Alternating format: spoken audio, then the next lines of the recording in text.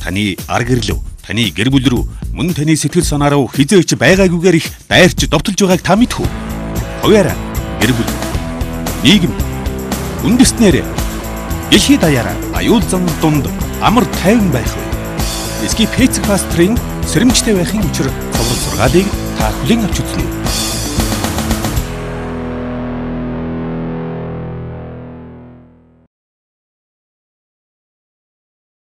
Надад ирсэн нэг зурвсыг би уншия л да. Эрхэм скипэ би тагтны суудлан үгийлж байна. Би тэнд сууж заншаад 12 жил болсон. Тактыг буцаагаад нээж өгнө үү гэж. Таны гуйлтын хариу ирсэн. Түрүү 7 хоногт тактыг нээсэн. Бид тэр хэсгийг шинчлэн засч янзлан цорайтуулагчаа тавьсан шүү. За ямар ч л байсан буцаад хэвэндээ орлоо. Тэгэхээр энэ лав гаргийн орой хайрын зоогтой. Бас Библийг алхам алхмаар хөтөлбөрөө үргэлжлүүлгээрээ үргэлжлүүлээ. Бид Эзра номон дээр яваа шүү дээ. Энэ ном ердөө 10 бүлэгтэй. Бүгдээрээ нэг дор нь үзнэ. Би энэ номыг хоёр удаа нэг нэгэнгүй уншчихад байгаа. Гурав дахь орой гэхэд дахиад хэдэн удаа уншчихнаа. Та нарыг үрий. Лав гаргийн орой ирж Эзра номын 1-ээс 10-ыг үзэн их эзний зоогийг хамт бариарай. Бүгдээрээ Библиэд илэрцгээгээд Йошуа 24 дугаар бүлгийг гаргая. Эхлээд ертөнцийн эзэнтэй ярьцгаая. Бид өнгөрсөн 7 хоногт янз бүрийн хүмүүстэй ярилцаж, янз бүрийн асуудалтай тулгарч, өөр өөрийн гэсэн амьдрал туулж байгаад ирсэн билээ. Гэхдээ бид энд таны үгийг сонсох мөн энэ багц сургаалаар гарган тавьж байгаа асуудлуудыг амьдрал дээр хэрхэн авч үзээсэй гэж та биднээс хүсэж байгааг мэдхээр цуглаад байна. Христэс олдог тэр аюулгүй байдлынхаа төлөө танд талархаж байна. Загламай дээр бүтээсэн таны үйлсийн ачаар танд түшснээр бидний сэтгэл санаа үрд баталгаатай байж чадах тул тандаа талархъя. Их эзэг Та бидний орон гэр гэрийн эхнийгч бас хамгаалж өгөөч. Бас бидэнд нэг үрчлэн үүнийг яаж хийхийг зааж өгөөрэй гэж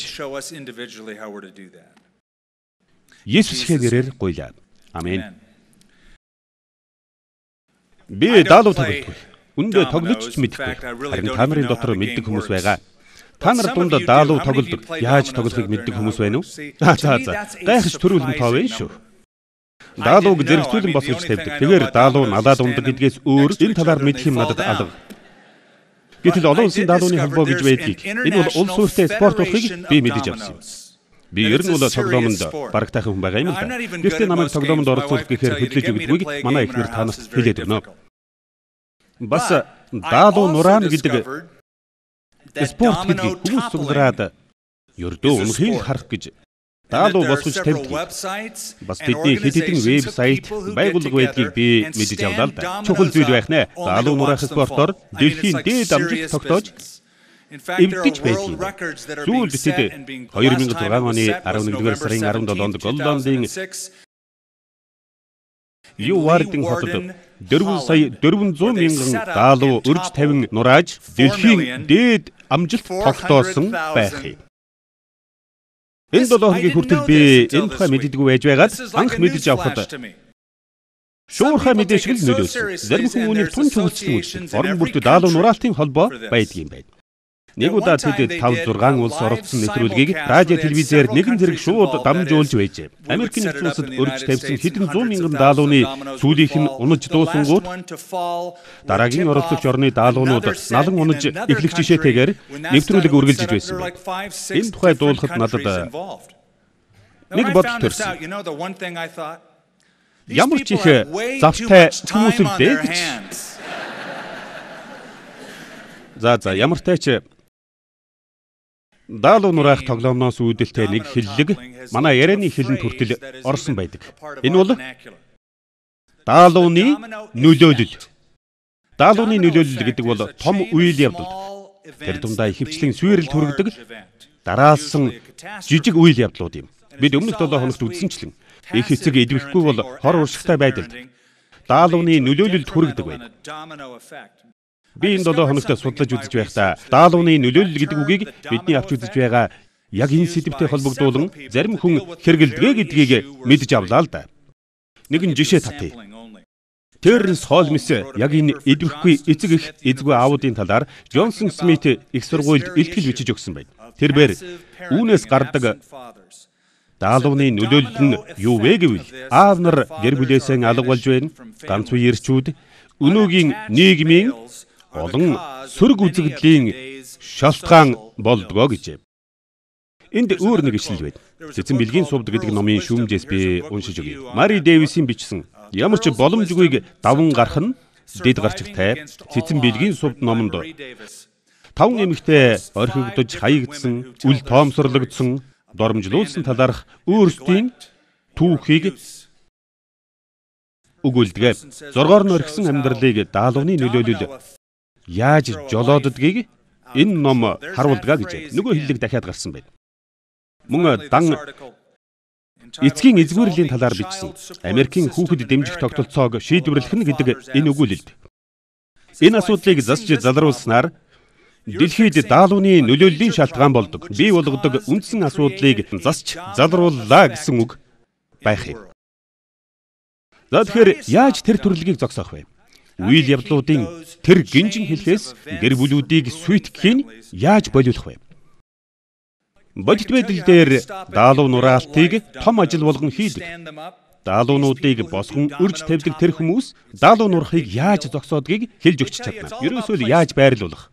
Хаан тавихаас хамаарна гэдгийг тэд танд хэлээд л өгнө. Даалууг хооронд нь хит ойр, хит хол тавих ч юм уу? Яг зөв өнцгөр нь байрлуулахгүй бол гинж нөлөөлөл зогсдог. Тэгэхээр бид өнөөдөр энэ тухай үзнэ.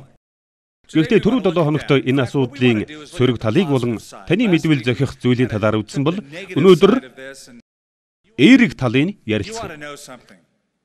Ёстой сайхан нэг мэдээ байна. Даалуу нурхыг болиуж болно. Ердөө жаахан л оролцоодаггүй.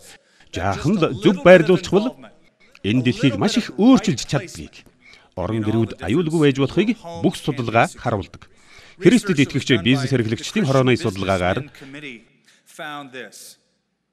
эцэг нь эдвэх зүтгэлтэй итгэгч бол хүүхэд нь мөн тийм итгэгч болох магадлал 75% тай гэж гарчээ. Энэ ч ястаа сайхан асар их ач холбогдолтой мэдээ шүү. Эцэг нь итгэгч шиг итгэгч бол хүүхдүүд мөн тийм итгэгч болох магадлал 75% тай гэдэг. Йошуа номын 24 дугаар бүлгийн 15 дугаар ишлэлийг одоо бүгдээрээ хамтдаа харцгаая. Одоо тэгэхээр мөнхийн эзнээс эмээцгээ түүнийг чин үннээсээ дээдлэн хүнддэг Евфрат мөрний цаана Египтэд байхдаа эцэг өвгөд чинь тахиж байсан бурхан шүтэнүүдэн орхиж мөнхийн эзнийг дээдэх. Хэрвээ мөнхийн эзнийг дээдлэх дургүй байгаа бол мөрний цаана байхдаа эцэг өвгөд чинь тахиж байсан шүтэнүүдийг дээдэлнэ үү? Та нарын оршин сууж буй нутгийн эзэд Аморитуудын шүтэнийг залнуу өнөөдөр өөрсдөө сонгоцгоо.